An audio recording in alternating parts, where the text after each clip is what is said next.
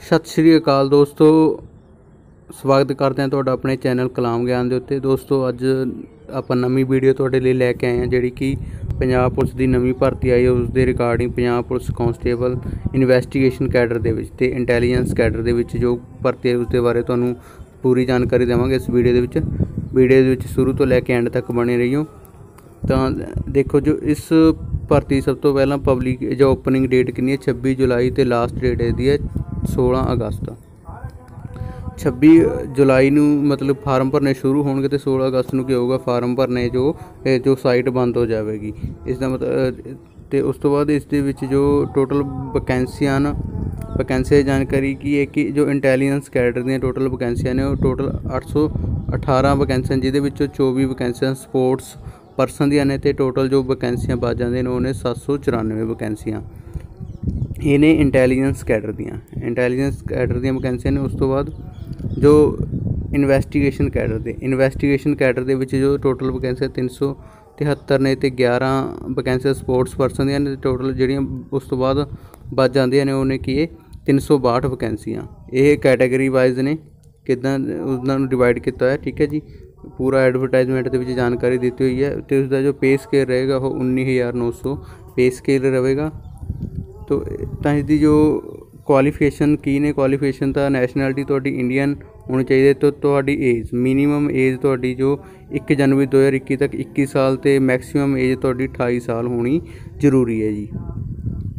ਉਸ ਤੋਂ ਬਾਅਦ ਜੋ ਐਜੂਕੇਸ਼ਨ ਕੁਆਲੀਫਿਕੇਸ਼ਨ ਦੀ ਗੱਲ ਕਰੀਏ ਤਾਂ ਪਹਿਲੀ ਜੋ ਇੰਟੈਲੀਜੈਂਸ ਅਸਿਸਟੈਂਟ ਦੀ ਹੈ ਇੰਟੈਲੀਜੈਂਸ ਕੈਡਰ ਦੇ ਵਿੱਚ ਕੀ ਹੈ, ਜੋ ਐਜੂਕੇਸ਼ਨ ਕੁਆਲੀਫਿਕੇਸ਼ਨ ਤੁਹਾਡੀ ਜਿਹੜੀ ਯੂਨੀਵਰਸਿਟੀ ਤੋਂ ਕਿਸੇ ਤੋਂ ਵੀ ਬੀਏ ਹੋਣੀ ਚਾਹੀਦੀ ਹੈ ਜਾਂ ਗ੍ਰੈਜੂਏਸ਼ਨ ਹੋਣੀ ਚਾਹੀਦੀ ਹੈ, ਤੇ ਉਸ ਦੇ ਨਾਲ ਹੀ ਅਗਰ ਤੁਹਾਡੇ ਕੋਲ ਗ੍ਰੈਜੂਏਸ਼ਨ ਹੈ ਤਾਂ ਤੁਹਾਡੇ ਕੋਲ ਓ ਲੈਵਲ ਸਰਟੀਫਿਕੇਟ ਹੋਣਾ ਚਾਹੀਦਾ ਓ ਲੈਵਲ ਸਰਟੀਫਿਕੇਟ ਹੁੰਦਾ ਹੈ ਕਿ information technology from national institute of electronics and information technology ਠੀਕ ਹੈ ਇਹਦਾ ਸਭ ਸਰਟੀਫਿਕੇਟ ਤੁਹਾਡੇ ਕੋਲ ਹੋਣਾ ਚਾਹੀਦਾ। ਅਗਰ ਇਹ ਕੁਆਲੀਫਿਕੇਸ਼ਨ ਨਹੀਂ, ਤਾਂ ਤੁਹਾਡੇ ਕੋਲ ਜੋ ਗ੍ਰੈਜੂਏਟ ਹੋਣੀ ਚਾਹੀਦੀ ਹੈ ਜਿਹਦੇ ਵਿੱਚ? ਕੰਪਿਊਟਰ ਸਾਇੰਸ ਦੇ ਵਿੱਚ ਕੰਪਿਊਟਰ ਐਪਲੀਕੇਸ਼ਨ ਜਾਂ ਕੰਪਿਊਟਰ ਇਨਫੋਰਮੇਸ਼ਨ ਟੈਕਨੋਲੋਜੀ ਦੇ ਵਿੱਚ ਤੁਹਾਡੇ ਕੋਲ ਗ੍ਰੈਜੂਏਸ਼ਨ ਹੋਣੀ ਚਾਹੀਦੀ ਹੈ ਜਾਂ ਤੁਹਾਡੇ ਕੋਲ ਬੀਐਸਸੀ ਹੋ ਸਕਦੀ ਹੈ, ਠੀਕ ਹੈ ਜੀ?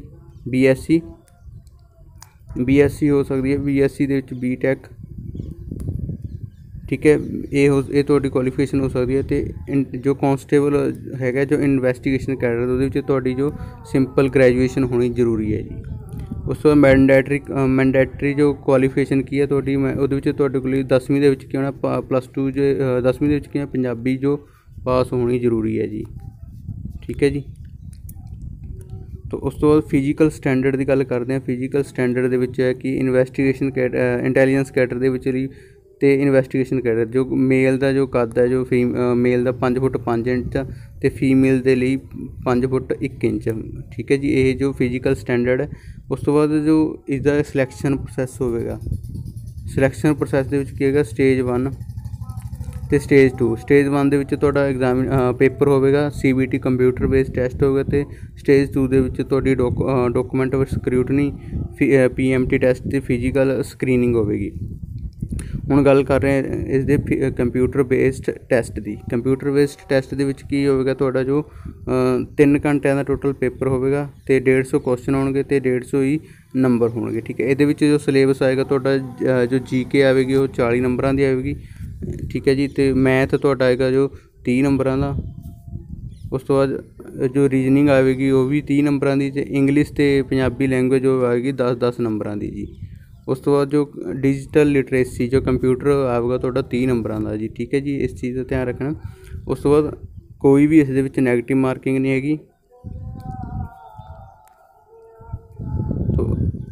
ਤਾਂ ਮਿਨੀਮਮ ਮਾਰਕਸ ਠੀਕ ਹੈ ਜੀ, ਇਹ ਵੀ ਸਾਰਾ ਕੁਝ ਦਿੱਤਾ ਹੋਇਆ ਜੋ ਪੂਰਾ ਐਡਵਰਟਾਈਜ਼ਮੈਂਟ ਦੇ ਵਿੱਚ ਜਾਣਕਾਰੀ ਦਿੱਤੀ ਹੋਈ ਹੈ। ਤਾਂ ਇਸ ਦੀ ਜੋ ਆਪਾਂ ਫੀਸ ਦੀ ਗੱਲ ਕਰ ਲਈਏ, ਜੋ ਇਸ ਦੀ ਫੀਸ ਹੋਵੇਗੀ ਤੁਹਾਡੀ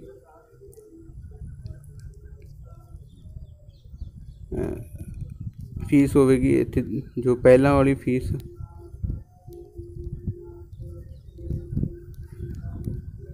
ਦੇਖੋ ਏਰੀ ਫੀਸ ਠੀਕ ਹੈ, ਜੋ ਜਰਨਲ ਨੇ ਠੀਕ ਹੈ ਜਨਰਲ ਦੀ ਜੋ 1000 ਫੀਸ ਹੋਵੇਗੀ, ਜੋ ਐਕਸ ਸਰਵਿਸਮੈਨ ਨੇ ਉਹਨਾਂ ਦੀ 400 ਤੇ ਜੋ ਐਸਸੀ ਐਸਟੀ ਮਤਲਬ ਆਲ ਸਟੇਟ ਤੇ ਐਸਸੀ ਐਸਟੀ ਨੇ ਉਹਨਾਂ ਦੀ ਜੋ 550 ਰੁਪਏ ਫੀਸ ਹੋਵੇਗੀ, ਜੋ ਬੀਸੀ ਨੇ ਸਿਰਫ ਪੰਜਾਬ ਦੇ ਉਹਨਾਂ ਦੀ ਵੀ 550 ਫੀਸ ਹੋਵੇਗੀ, ਜਿਹੜੇ E ਈਡਬਲਿਊਐਸ ਈਡਬਲਿਊਐਸ ਨੇ ਉਹਨਾਂ ਦੀ ਵੀ 550 ਰੁਪਇਆ ਜੋ ਫੀਸ ਹੋਵੇਗੀ, ਠੀਕ ਹੈ ਜੀ।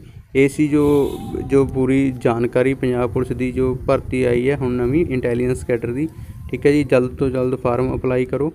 ਧੰਨਵਾਦ ਜੀ। ਅਗਰ ਵੀਡੀਓ ਚੰਗੀ ਲੱਗੀ ਤਾਂ ਚੈਨਲ ਨੂੰ ਸਬਸਕ੍ਰਾਈਬ ਜ਼ਰੂਰ ਕਰਿਓ ਅਤੇ ਇਸ ਵੀਡੀਓ ਨੂੰ ਵੱਧ ਤੋਂ ਵੱਧ ਸ਼ੇਅਰ ਕਰਿਓ ਜੀ।